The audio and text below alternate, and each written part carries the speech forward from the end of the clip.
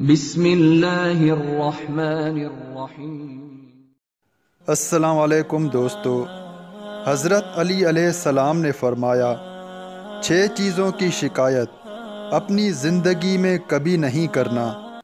تو دوستو، اگر آپ یہ ویڈیو شروع سے آخر تک پوری دیکھیں گے، توجہ کے ساتھ سنیں گے، تو آپ یہ جان جائیں گے کہ وہ کون سی چھ چیزیں ہیں جن کی آپ نے اپنی زندگی میں شکایت کبھی نہیں کرنی ہے۔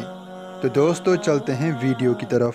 ویڈیو سٹارٹ کرنے سے پہلے آپ سے ریکویسٹ ہے کہ اگر آپ نے اردو ویڈیو فیکٹری چینل کو سبسکرائب نہیں کیا تو سبسکرائب کر لیں۔ اگر آپ اس چینل کو سبسکرائب کریں گے تو آپ کو فائدہ یہ ہوگا کہ اس چینل پر جو بھی نئی ویڈیو اپلوڈ ہوگی آپ تک پہنچ جائے گی۔ اگر آپ اس چینل کو سبسکرائب کریں گے، ہماری حوصلہ افزائی کریں گے، تو ہم آپ کے لیے مختلف ٹاپکس پر ویڈیوز بنا کے آپ کو گائیڈ کرتے رہیں گے۔ اگر آپ اس چینل کو وزٹ کریں گے، تو یہاں پر مختلف ٹاپکس پر اور بھی ویڈیوز موجود ہیں۔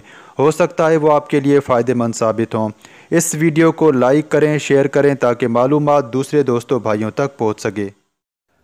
حضرت علی علیہ السلام نے فرمایا، چھ چیزوں کی شکایت اپنی زندگی میں کبھی نہیں کرنا۔ پہلی چیز، اپنی قسمت کی۔ حالات کچھ بھی ہوں، اچھے ہوں یا برے ہوں، کبھی بھی اپنی قسمت کی شکایت مت کرو، کیونکہ قسمت لکھنے والا خدا ہوتا ہے۔ خدا انسان کی وہی قسمت لکھتا ہے جس میں اس کی بہتری ہوتی ہے۔ دوسری چیز، اولاد کے سامنے اپنے بڑوں کی۔ اولاد کے سامنے اپنے بڑوں کی شکایت کبھی نہیں کرو۔ کیونکہ اس سے آپ کی اولاد کے دل میں اور ذہن میں بڑوں کے لیے عزت اور ڈر نکل جائے گا اور وہ بڑوں کی عزت کرنا چھوڑ دیں گے۔ تیسری چیز، اپنا ذاتی مکان ہوتے ہوئے اس کی تنگی کی۔ کیونکہ دوستو، اپنا ذاتی مکان، اپنا ذاتی گھر بہت بڑی نعمت ہوتا ہے۔ گھر چھوٹا ہو یا بڑا ہو، گھر گھر ہوتا ہے۔ اگر آپ کا گھر چھوٹا ہے تو کبھی بھی اس کی شکایت مت کرو۔ یہ سوچو کہ وہ لوگ بھی ہیں جن کے پاس گھر نہیں ہے اور کرائے کے گھروں میں رہتے ہیں۔ چوتھی چیز، بھول کر بھی اپنے ماں باپ اور استاد کی شکایت کبھی نہیں کرو۔ اس پوری کائنات میں ماں باپ جیسا سچا وفادار پیار کرنے والا رشتہ آپ کو کوئی اور نہیں ملے گا۔ ماں باپ کا رشتہ وہ رشتہ ہے جو خود کو بھوکھا رکھ کے آپ کا پیٹ پالتے ہیں۔ خود کو تکلیف دے کر آپ کی ہر ضروریات کو پورا کرتے ہیں۔ تو دوستو، کبھی بھی اپنے ماں باپ کی شکایت مت کرو۔ کبھی بھی اپنے استاد کی شکایت مت کرو۔ استاد وہ ہوتا ہے جو آپ کے مستقبل کی پرورش کرتا ہے۔ آپ کو زندگی میں کامیاب بناتا ہے۔ آپ کے اندر اچھائی اور برائی کو پہچان کرانے کی صلاحیت پیدا کرتا ہے۔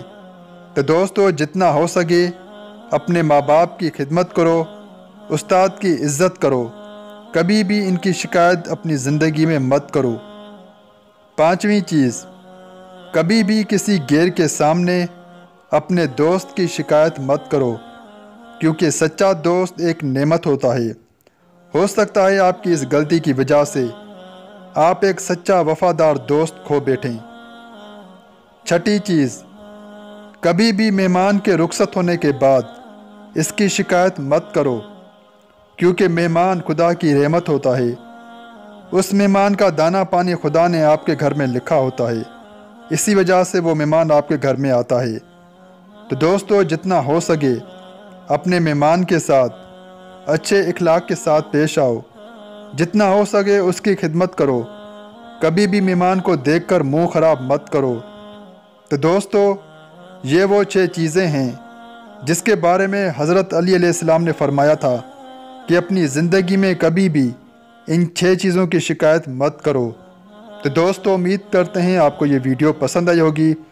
دعاؤں میں یاد رکھیں، اپنا خیال رکھیں۔ اللہ حافظ۔